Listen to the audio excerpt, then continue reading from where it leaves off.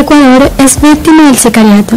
Generalmente el sicariato es un tema conexo al narcotráfico, provocado por ajustes de cuenta por casos de venganzas, cobro de deudas personales, rivalidades entre bandas de delincuentes y del crimen organizado para tomar el control del territorio, ya sea por el tráfico o el narcotráfico.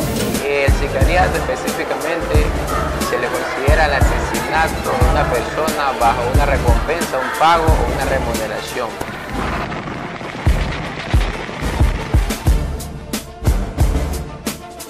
El cuerpo de José Huacón, alias el gato negro, fue hallado sin vida entre la intersección de las calles Huancavilca y Sucre.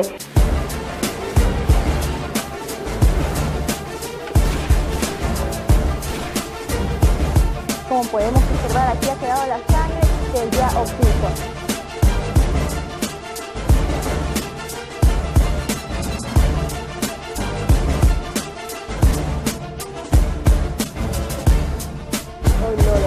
Fue algo horrible, niña. Nunca ha habido estas cosas por aquí. Nunca se ha escuchado disparos.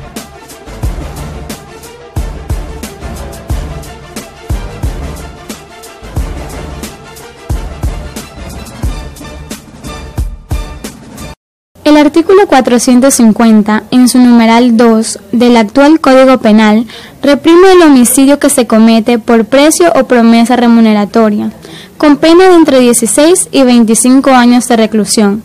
Sin embargo, su tipificación en el régimen penal ecuatoriano como un delito agravado que atenta contra el derecho a la vida llega a ser insuficiente debido a la alarma social y al irreparable daño que causa. Con el nuevo Código Orgánico Integral Penal se ha tipificado lo imponiendo una pena de 22 a 26 años, lo que anteriormente no estaba en el Código Penal que regía antes que entrara el Código Integral Penal, porque anteriormente era específicamente un homicidio con un agravante. Artículo 143. Sicariato. La persona que mate a otra por precio, pago, recompensa, promesa remuneratoria u otra forma de beneficio, para sí o un tercero, será sancionada con pena privativa de libertad de 22 a 26 años. La misma pena será aplicable a la persona que en forma directa o por intermediación encarga u ordene el cometimiento de este ilícito. Se entenderá que la infracción fue cometida en territorio o jurisdicción ecuatorianos cuando los actos de preparación, organización y planificación son realizados en el Ecuador, aun cuando su ejecución se consume en territorio de otro Estado.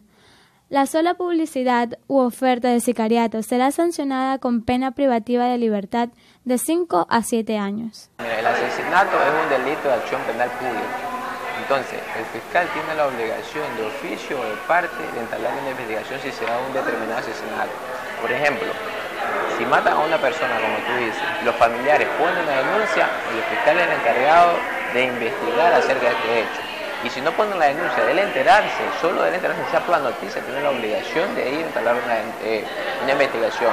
Entonces, él tendrá la obligación de investigar y actuar con los elementos esenciales de convicción que relacionen a esta persona con el, con el, con el, con el delito. Por ejemplo, pueden incautar el arma y si en el arma se encuentran las huellas dactilares de la persona, entonces ahí ya hay un elemento de convicción que pueda relacionarlo. Entonces, él reuniendo todos los elementos de convicción que manda la ley, solicita al juez, solicita al juez la prisión preventiva para abrirle un proceso judicial. Entonces el juez, con la, la las versiones del, del fiscal perdón, no son vinculantes para el juez, no lo obligan.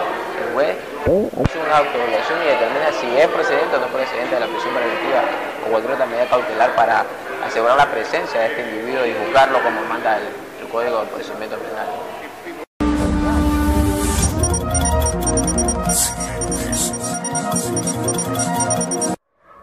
Flash informativo Faxo TV. Hace pocos minutos acaba de ocurrir lo que presume otro caso de sicariato. El cuerpo de José Huacón, alias el gato negro, fue hallado sin vida entre la intersección de las calles Huancavilca y Sucre. Según las autoridades, fue encontrado con varios impactos de bala, lo que ocasionó su deceso. Según la policía, tenía antecedente penal por tráfico de estupefacientes. El actual occiso dejó cinco hijos en orfandad.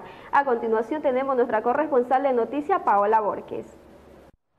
Buenas tardes allá en estudio. Nos encontramos en el lugar de los hechos donde fue asesinado José Huacón, alias el gato negro. Como podemos observar, aquí ha quedado la sangre del ya oxiso. Tenemos aquí una moradora que fue testigo del asesinato y tenemos aquí, cuéntenos señora, ¿usted qué vio aquí?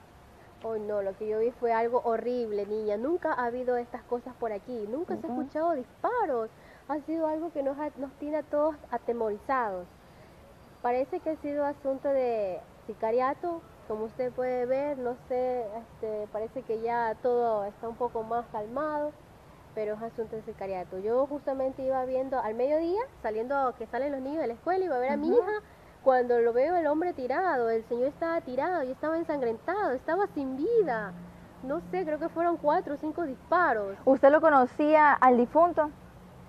Sí, sí lo conocía y me parecía algo extraño que haya muerto así, porque es una persona tranquila, trabajadora, tiene su familia y no me parece que haya andado en cosas ilícitas como para que haya muerto así. Presuntamente, ¿cuántas personas fueron las que eh, eh, hicieron el asesinato del hombre? Eran dos, y los dos andaban en moto. Entonces quiere decir que esto fue al estilo sicariato, ¿verdad? Sí, así es, niña. Continuamos con más en el estudio Ruth. Esta noticia será ampliada en la misión estelar. Buenas tardes.